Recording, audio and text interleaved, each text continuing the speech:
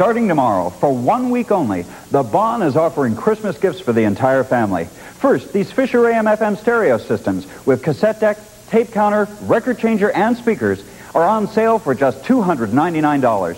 Second, this RCA 19-inch color TV with super AccuLine picture and automatic color control is now just $388. Great Christmas gifts for the entire family, and they're on sale for one week only, starting tomorrow at the Bon.